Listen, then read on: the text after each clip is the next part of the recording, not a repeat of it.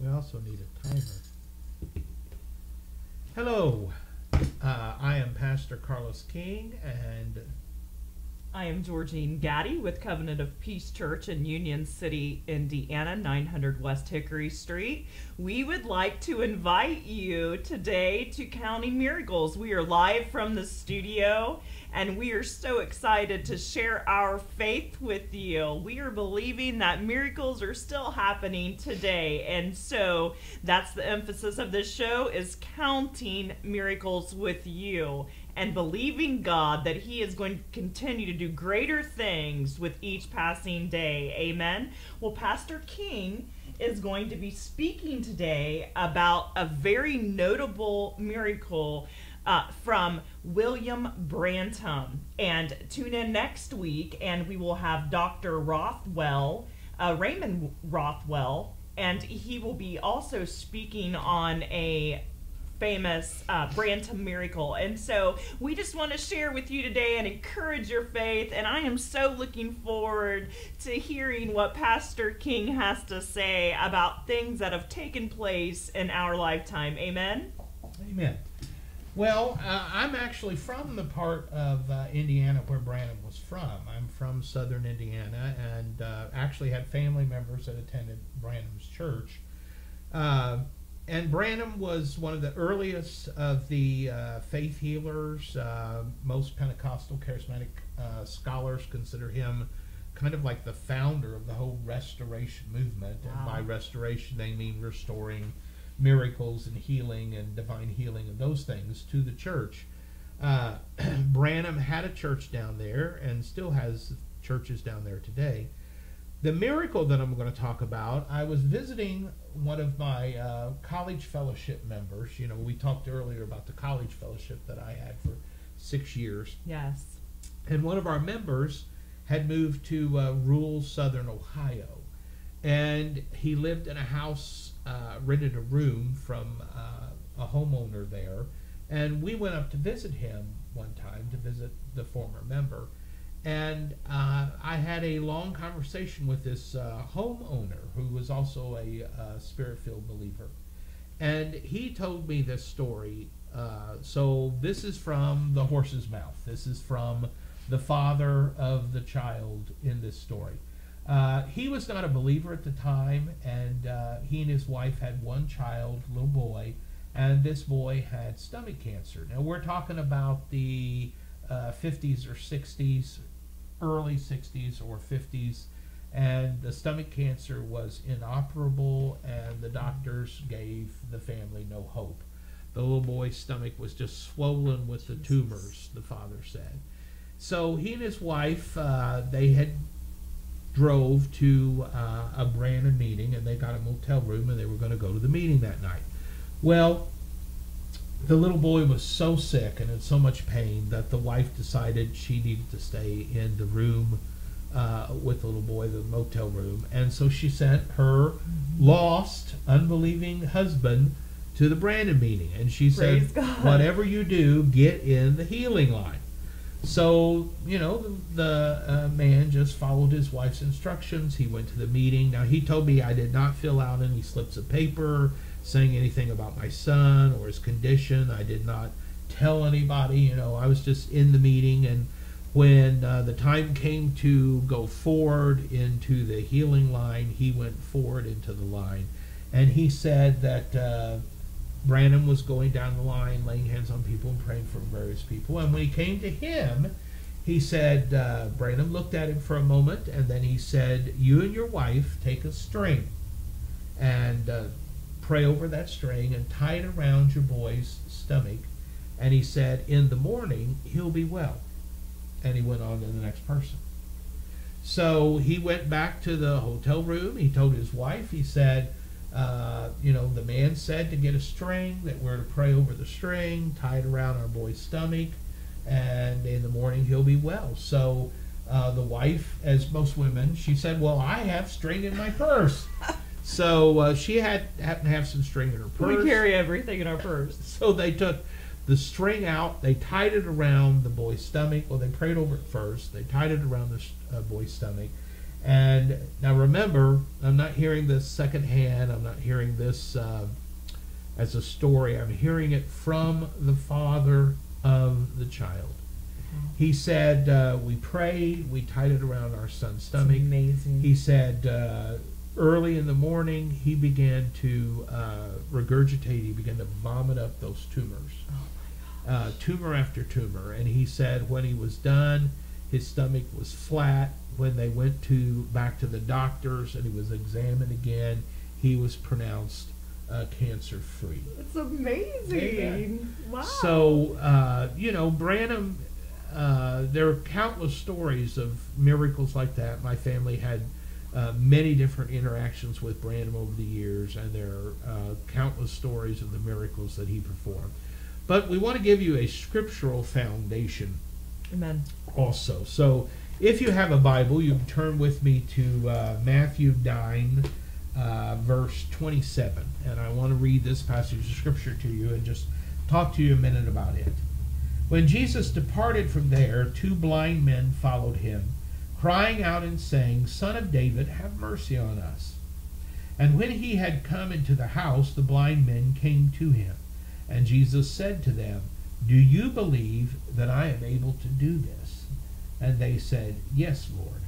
Then he touched their eyes, saying, According to your faith, let it be done to you. And their eyes were opened, and Jesus sternly warned them, saying, See that no one knows it. Now, one of the things I, that I want to, to talk to you about today for a few minutes is this point of where Jesus asked them, Do you believe mm-hmm. that I'm able to do this?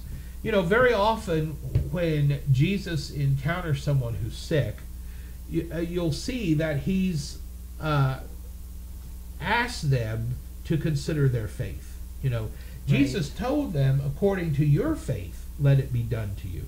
So we have many people, they go to churches for healing, and uh, they really don't have the faith. You know, Right. they haven't built their faith. They haven't. Uh, they're not praying. Maybe not uh, even praying before the service. Absolutely, they're not. Uh, they're not uh, reading testimonies. They're not reading the Word, and they go sometimes Sunday after Sunday and ask for healing, and uh, no healing occurs. You know, one of the reasons why we attended years ago, uh, First Assembly took a van loan up to a Benny Hinn meeting. And one of the things that you knew about being there was that people who were sick, many people who were sick, came with expectation of being healed. Expectation is the breeding ground of miracles. Yes, if you go to church and you ex- uh, you expect it to be the same as church has always been, you're going forward for prayer, but you expect it to be as it's always been, you know, then you're going to get according to your faith. Yes. Your faith is nothing's going to change. Everything's going to be the same. You have to go in faith believing this is the day, Right. this is the time. And I'm telling you that God can use your church. I remember uh, when we were in uh, Full Gospel Church in Nabb, Indiana. I think it was called Full Gospel Church of Nabb. Uh, we, we had a family there. Actually, I knew them very well because they'd been part of our college fellowship years earlier and had moved to Nabb because of our connection to that church. And they had a child that had uh, like a goiter on its neck. Well, they were definitely faith people. I mean, extreme. Uh, they, you know, I don't even think ever went to a doctor with this uh, goiter, and it just kept growing and growing. Wow. But they did take their child. It was an infant. I mean, it was only a year or two old. They took it to a Kenneth Hagin meeting. They took it to a Copeland meeting. They took the baby to a couple other meetings, and all these great faith people, you know, laid hands on that baby, and the goiter just continued to grow. So finally, in desperation, the mother was at uh, at this church, made up of farmers, factory workers, you know, just plain Ordinary ordinary, people. ordinary folks. And the ladies of the church uh, gathered around that young mother and prayed with her for that child. And when the, these simple people with simple faith Right? started praying for that baby, that uh, growth began to uh, diminish yes. as they prayed. And by the end of the day, that growth was completely gone. Amen. Now, it Glory wasn't the God. prayers of Kenneth Hagin. It wasn't the prayers of Kenneth Copeland. It wasn't Ordinary the people loving prayers God. of any other uh, great faith healer. It was the prayers of simple folks and the faith that they had. I love that that. That's to be beautiful. That's good. So Yes. you need to know. You know, you may think, "Oh, I've got to go to some uh, big name to receive a Amen. healing." No, you need to build your faith. Yes. Uh, you need to trust God to minister to you right there in your local church with your local pastor. Uh, if he's a Bible believing pastor and prays for the sick, and with your fellow congregants who will join their faith with yours and pray with you about your situation. But it will be done to you according to your faith. So build your faith. Pray. Pray if you're spirit filled, pray in the spirit, pray in tongues. Uh, Absolutely. read the stories of healing in the Bible. Find you some good uh, testimonies of healing online and other places, and God will do it. I'm reminded, and you can find this online, and I believe, Georgine, I've, I've played it for you before. There's a recording online of a, a Baptist minister who is teaching a Sunday school class. Now, he had been a well known preacher. He had been a very well known preacher. And uh, the preaching and, and some other issues with his voice had uh, damaged his vocal cords so severely that the doctors said, You'll never preach again. You'll never speak in a normal voice again. He Which would be devastating to a Yes. preacher. he could only speak in a very I'll, I'll try to mimic it to some he could only speak in a very raspy very uh, almost whispered voice but what they did was they amplified his voice for this adult sunday school class so he's in a passage in psalms and this passage begins to talk about healing and as this man is teaching, he's again teaching in that low whisper voice, raspy voice. And he goes, I believe in this scripture. I believe that God can divinely heal. He goes on and he says, I know that's not what we believe, but I believe it. And as he confesses his faith Whew. before this adult Sunday school class, he is healed. It is Ah. right there on the recording That's the power you of God. You can hear him being healed. You can begin to hear people weeping. Uh, you begin to hear people praying. It's a Confession of miracle faith. of God right there. Let it, let it be done to you according to your faith. Because he believed, he received. So I want to encourage you today believe and you will receive. Amen. Build your faith. Uh, you don't need a Branham. It can be your local church. Absolutely. You don't need a big faith healer. It can be your pastor, your uh, friends in the congregation. Who cares for you more? Amen. Uh, some uh, big name that doesn't know you other than one more face in the crowd, or your church family that loves you, that worships with you, uh, that prays with you. Trust me, uh, they have an investment in what God does for you. So I encourage you today, build your faith and believe God for miracles because God is still a miracle Yes, working. God. Amen. Amen. Well, Georgie, would you like to uh, lead the folks that are watching today in a prayer for healing or uh, the increase of their faith or however God leads you? Amen. Well, I just want to add one thing to that. I, I want to say, like, when he was talking about the local church, we need to renew our commitment to the local church. God has put us each in in the body um, at a designated church somewhere. There's a home for you. There's Amen. a home for your faith to grow and bloom. His wife, whom I love, Pastor uh, Sharon King, always said, you know, bloom where you're planted. God will plant you somewhere, and then He will cause you to grow, and your faith to grow. And, you know, we need to renew our commitment to the local church, a local pastor that can shepherd your soul and that can care for you and help build that faith. And, you know, you have questions, they can provide answers. You know, we need to stop looking. I know we're in modern technology. I know that we're accustomed to going to Google for everything and, and watching online, and we appreciate you watching online, absolutely. But become part of a body. Somebody's miracle may be counting on whether you show up or not. Amen. I used to do that. I used to encourage myself when I felt like I didn't want to go on a Sunday. Yes, that's possible. We can feel like we don't want to go to church too. And I used to, before I was pastor, and I used to encourage myself, and I would be like, you know, some, you have a place in the body of Christ. If you don't show up and allow the Holy Spirit to move through you, something might not happen for the kingdom of God. Am I all power? No. But there's a Holy Ghost inside of me that God wants to use. We all are part of the body. There are fingers and toes and arms and legs and feet. And, you know, we're all members and we all have a part to play. So please think about renewing your commitment to the body of Christ, being present.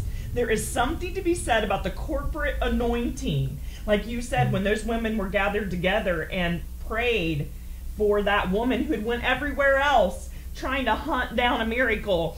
It was the women of the local church that prayed for her and received that healing for that child.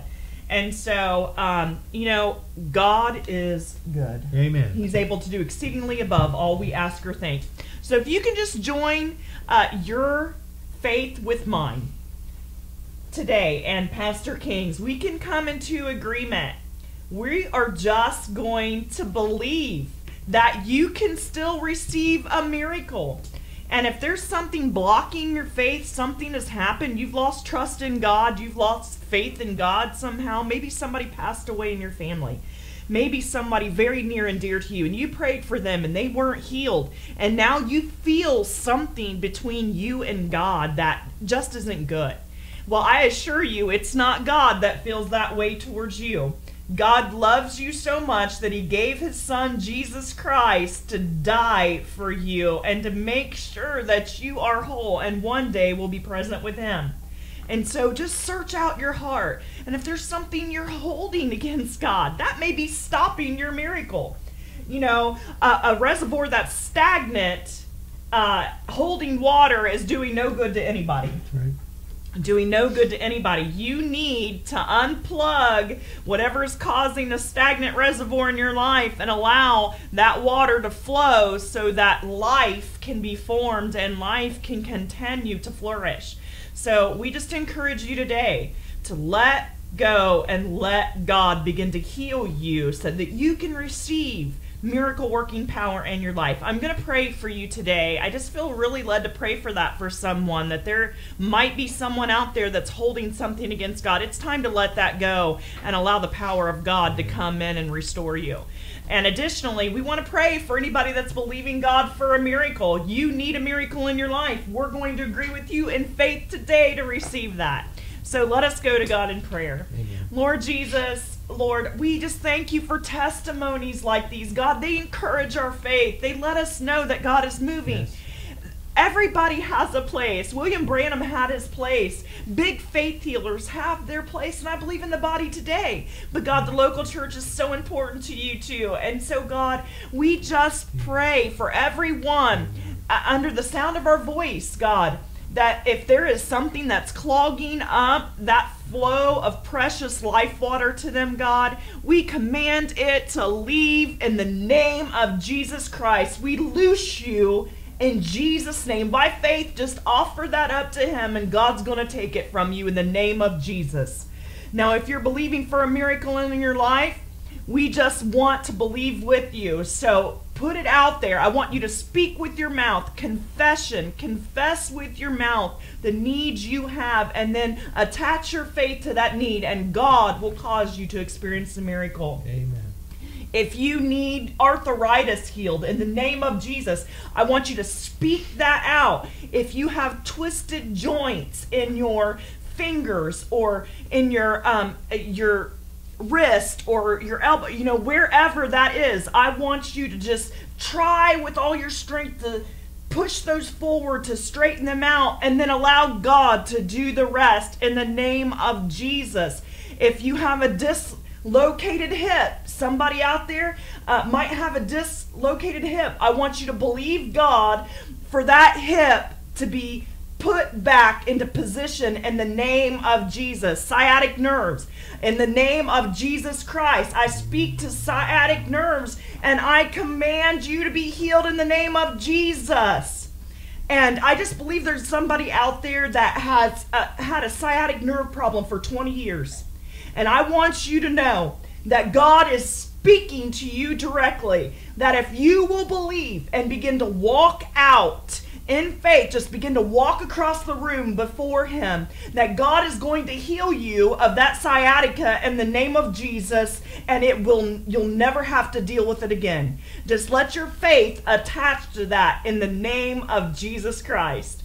Well, we hope that you are believing with us and that you received what God wanted to release to you. Amen. Amen. Well, we'll see you again in uh, next week in another broadcast. Uh, I'm Pastor Carlos King, First Assembly of God in Richmond, Indiana. Uh, our services are 10 o'clock Sunday morning and 6:30 on Sunday night, starting the first Sunday of March. Where, as a matter of fact, we're beginning with a revival.